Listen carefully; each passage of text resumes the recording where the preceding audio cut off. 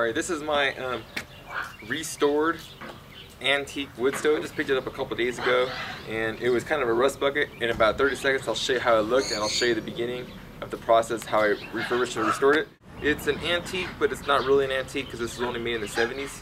Um, this one was a, a copy of the original it's nothing special. It's just a little project I did in a couple days. I wanted to have a wood stove in the backyard, similar to another one that I have. I have a little potbelly stove. I wanted to have a bigger one. I wanted to be pretty. I wanted to leave it outside um, in the rain and everything. Well, so I thought that the best way to do that is to grind this one down to bare metal and to get all the rust off and refurbish it. And that's what I did. Check out the video and I'll show you how it looked and I'll show you the progress that I made. Hope it's worth your time.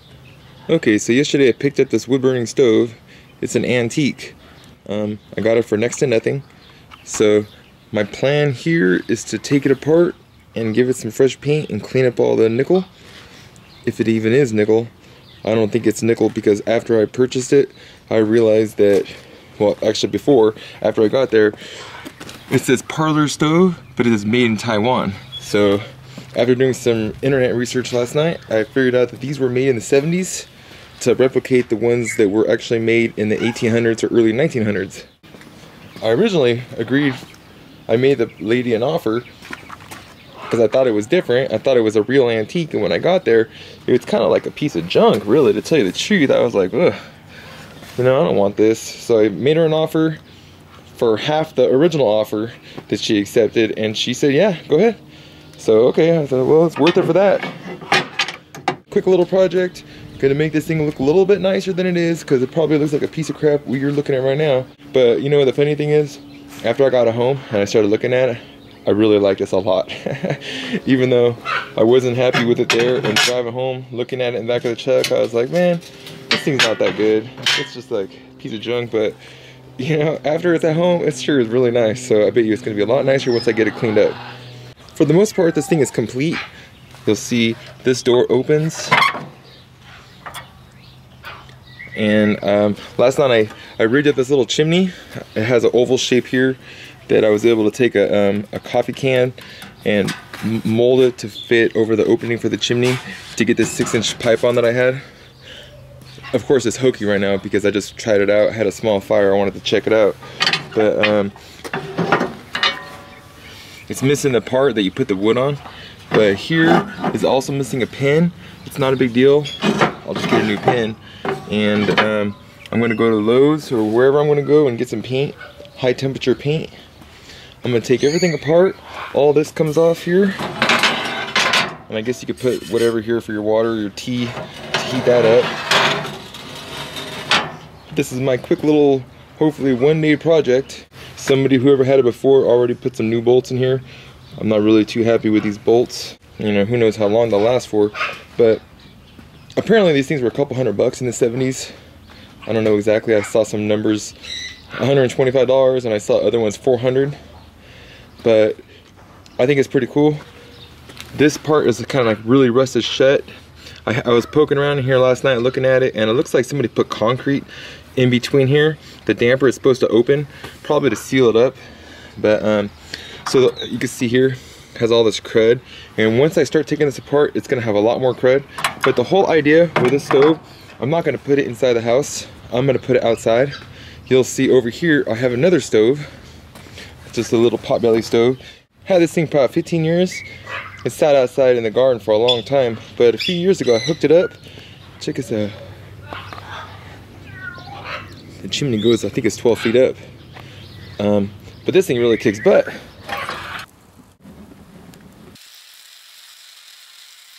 on a nice cold night, come out here, I have some wood that I loaded up. And we have our chairs and stuff, we kick back. But inside the wine barrel, I have a lot of other pieces of wood, little trimmings that I can feed the potbelly stove. As you can see, it, it holds an 18 inch piece of wood. So it's gonna hold a lot more wood. Um, everything is pretty much here except for the part, like I said, the grate or whatever that you put your wood on inside here. So I'm gonna make something, the guy gave me something to try to rig it up. Anyways, this is the future little project here, try to make it real quick. And like I said, it's not a true antique from the 1800s or 1900s, earlys. This is just a Chinese knockoff or Taiwan knockoff. But hey, whatever, it's still almost 40 years old. If it's from the early 70s, okay, so 40 years old, it still looks pretty good. I mean, some people probably like the patina that it has now, but I think it's gonna look better if I buff it out. So, I'm gonna start the process. I wanted to get some video of it here in the sun. Kind of give an idea of what it looks like. This is all loose. Now this little chimney I did, like I said, burn last night. Here, let me take this off. I'll you what this looks like.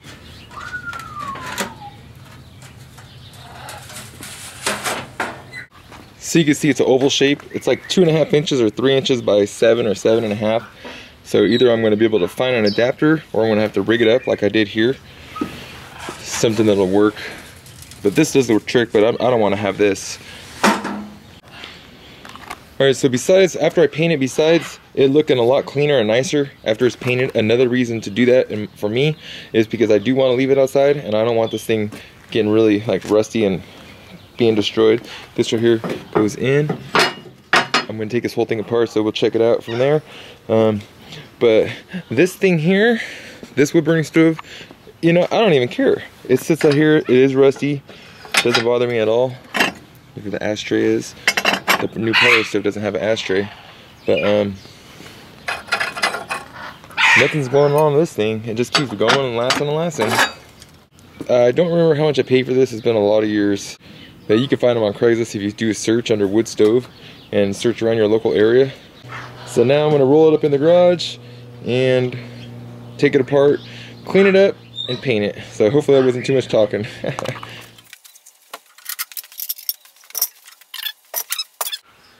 This is supposed to have some bolts. It's supposed to have some bolts in here that it's missing. So it's okay for me. I could take it off pretty easy. It just actually lifts up. But when I assemble it again after it's all painted, I'm going to get some new bolts for it. Similar to these, but probably some stainless steel ones.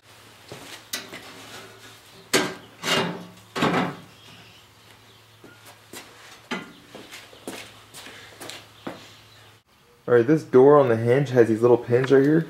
You can see. So I'll just use a hammer and a little thing to smack it out.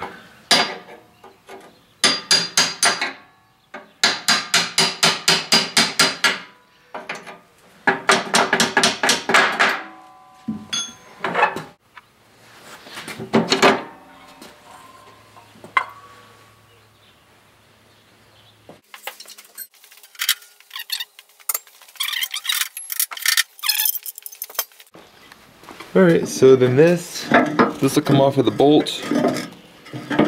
That looks pretty simple. And then as you can see, all this will just come off, so I should be able to get all these, the, each piece off. Pretty simple, really. I have a lot of like corrosion and crud right here. Not really sure what that is. I'll clean this up with a wire wheel. I'll grind that off or whatever. Okay, so I have no idea how it's going to work out. Well, I took it outside and I kind of cleaned out most of the ashes. I dusted it out. It looks horrible. That's okay.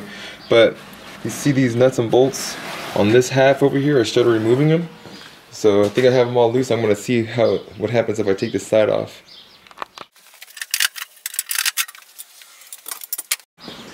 Cool.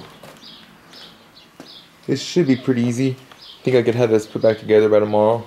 Say a day and a half or so worth of work. I mean, really, it's not that many that much work or that many hours is going to be involved. This is all rusted shut or something. Like I said, I think they put concrete in there, but whatever. It's going to be nice when I'm done.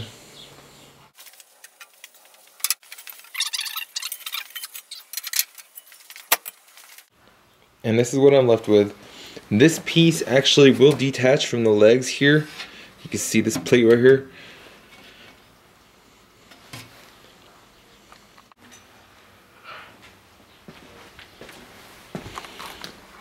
So this is going to be a little bit of work. This is the front door to getting this all freed up and loose. Right now, it's I think it has concrete inside there. So that's going to be a little bit of work. Here's the lift door. I'll just clean it up with a wire brush. Get all this crud out. Looks like rust and just crud. Yeah, this is the part that got me. When I saw this, I was like, you know what? I am not interested in this wood stove. But eh, I made an offer, a really cheap offer, and she's like, okay. I said, well, all right. so I got another project here. This would be cool. I'll try to polish this out. This fiberglass material, whatever it is, I have no idea what that is. Uh, I might just leave that because I don't have a choice. Maybe I'll paint it or something. So moving on down the line. Now one of these, I think this one here, I painted this already with a um, wood stove flat black. Yeah, it has to be this one. So this is kind of an idea of what it will be when I'm done. Uh, I'm thinking I might go back though and get some satin black instead of just regular flat black because I think satin having a little bit of a sheen is going to be better than just straight flat like this. And then this, just of course, I'll just use the SOS pads or something. Um, and I'll try to clean up some of this chrome. If it was real antique, if it was a real antique and original, it, this would be nickel. But there's no way that this is nickel. And I guess if worst comes to worst, I could just repaint it. And here's the top.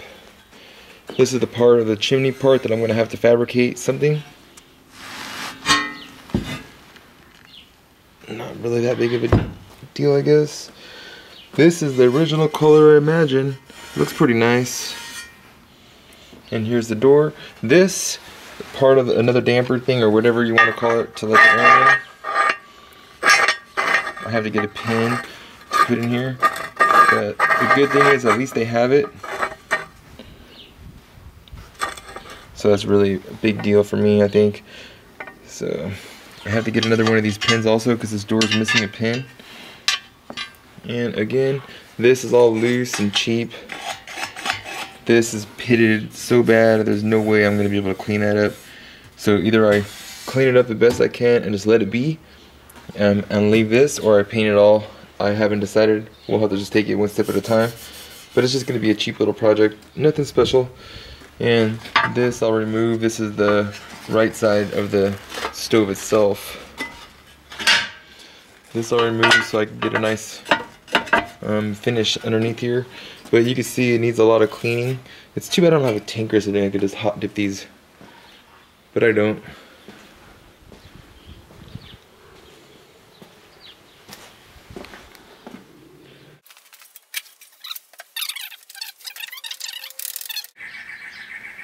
Okay, so this whole cleaning operation is gonna get shifted outside. I definitely don't want to make a mess in the garage and the most important thing is I don't want to breathe this stuff in when I'm grinding on it. So as long as I'm outdoors, it's more than likely it's going to blow away any dust that I make. So there's nothing fun about grinding or cleaning. So here's my little setup. Here's where I'm going to have it. And I'm going to put everything out here and get started and we'll see how it looks after I get it all cleaned up. I'm sure it's going to take some time. Look how this stuff is just caked on here. It's pretty nasty. I don't even know if I could finish it up in the time that I thought. But I'm gonna give it a shot. This thing is kind of like funky too, with these screws. All right, so I have everything out here. I divided this into two categories. Okay, the first category being the hard stuff, the nasty stuff. So this is the worst as it gets right here. This is pretty nasty, okay? This is gonna be the hardest thing to do. And then you come along the end, heading right. This is pretty easy. It's gonna get easier from there. I just have to get all these little cracks cleaned up. But as you work your way this way, these are gonna be a lot easier to do. There's not really that much buildup or corrosion on these things. piece like this, it should only take 15 minutes of cleaning. This is by far the easiest one right here. This one's easy right here. Okay, so this one's all right, a medium, but instead of starting with the one that you would think is going to be the one I want to start with, which is this one. I'm going to start with some of the easier pieces so I know what to expect and what the finish should be. So when I work my way down here to the left, when I get to this, I'll have a general idea of, you know, whatever, what, I, what has to be done. But this stand I really need to tighten up, but anyways, I'll get a couple pieces cleaned up and after I clean them up and prep it for the high temperature paint, I'll probably use lacquer thinner or denatured alcohol or maybe even just some good old-fashioned soap and water and I'll clean up everything and prepare it for the paint. I'll show you some of the tools that I'm using over this way. So this is pretty much it. I have a hammer and some chisels. This will get some of these little chunky pieces out here. And some wire wheels, variety of wire wheels, no big deal. A cheap old brush. Of course I need ear protection, eye protection. I'm gonna use the drill. Most of the wire wheels I guess. These all would be with a drill right here. And then um, I have some grinders and stuff with wheels on here. It's real important when you use one of these is definitely want to wear eye protection because these little suckers will shoot out and they'll, they'll sting you. Um, and I have another grinder and some other stuff. But this is mostly it. So nothing fancy or romantic here. It's just going to be cleaning. So I'm going to get to it and I'll show you a piece. Maybe I should start with the easiest piece, which would be this one, since it already looks good to me. We'll take a look how it looks. It's gonna look the same. Pretty confident of that. But I'll start with this and I'll work my way around.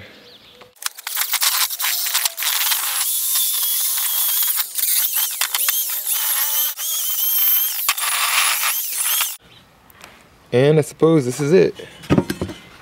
Can't really tell exactly with this piece because it was already pretty good looking. But I'm gonna attack this. You can see I already started with this. I chipped this out. This must be some sort of a sealant they put in or something to try to block some of the air. But you can see the difference here. This I did, this I didn't, so this is gonna make a considerable amount of difference. But I'm gonna get to it. Okay, so this is the face of the stove, and here's the damper. Now I finally kind of freed it up a little bit. I've been hitting it with a, hammer and chisel, but doesn't that look like concrete? I don't know what somebody did here. I mean, yeah, it's not a 100 year old stove, but it's still at least 40 years old. That looks like concrete to me. So maybe somebody's trying to seal it. So I'm going to continue trying to free this thing up, get it loose, and clean it up and paint it.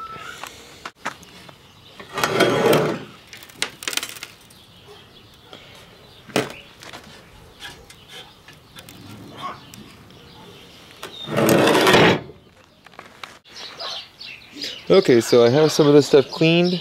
Maybe you can't tell, I'm still gonna soak it and scrub it with the SOS pad. So these are a lot better. Here's the front, I got this all freed up with all the concrete that was around there. The problem with this though is I can't remove this because the bolt that goes through I think is rusted.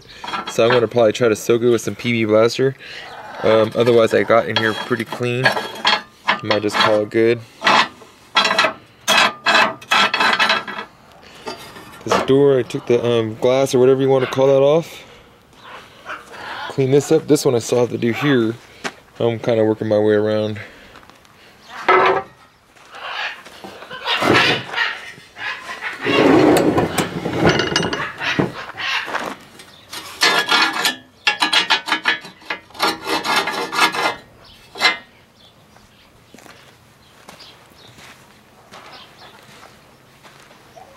This is good. I still have these two pieces. These are the ends.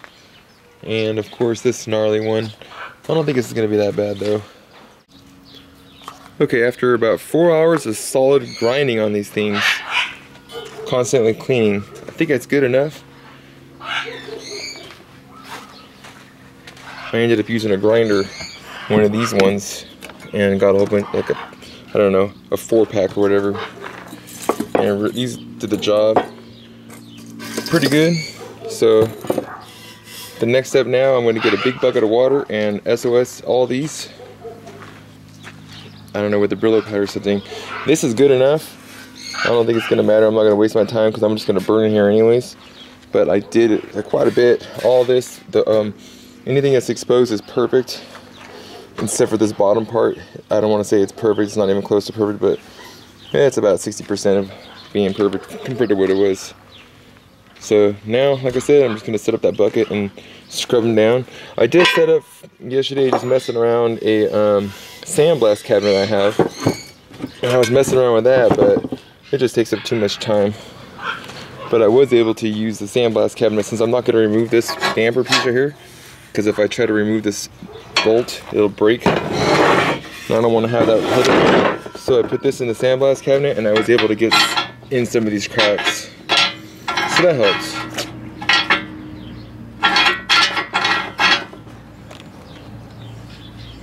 Yeah, like I said, four hours of non-stop cleaning and grinding and you know, most important thing is wear your eye protection and ear protection and a dust mask. Can't even say I wore the dust mask the whole time. These still are gonna get cleaned. Haven't even touched this yet. That's easy stuff. But the main nasty, rusted, nasty, cruddy part is done.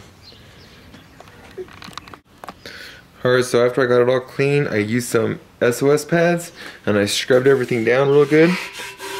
And the thing is, I still make my fingers a little dirty, so it's not perfectly clean. So I'm gonna, I got some oven cleaner and I'm gonna take this, I'll spray all these parts and I'll let it soak for a little bit and then um, I'll just hose it down. And that'll pretty much strip it 100%, get all the wax off, get all the grease and anything so that my new fresh paint will stick.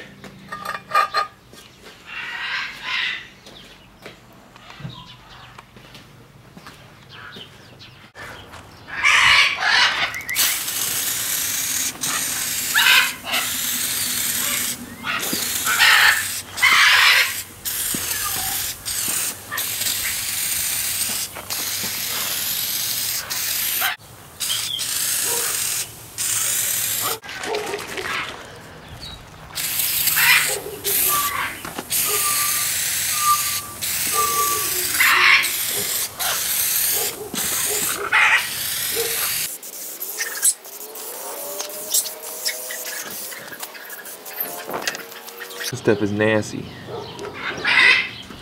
I mean, I'm sure the EPA is going to outlaw this stuff pretty soon. Just a matter of time. It'll strip off paint and everything.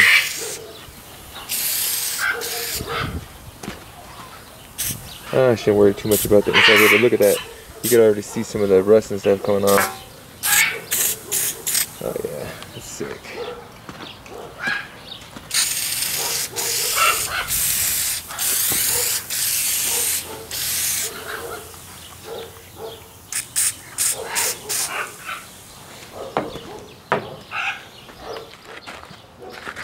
Alright, so this stuff will even burn me too. This oven cleaner, it's nasty stuff. Whew. I'll just use a regular SOS pad.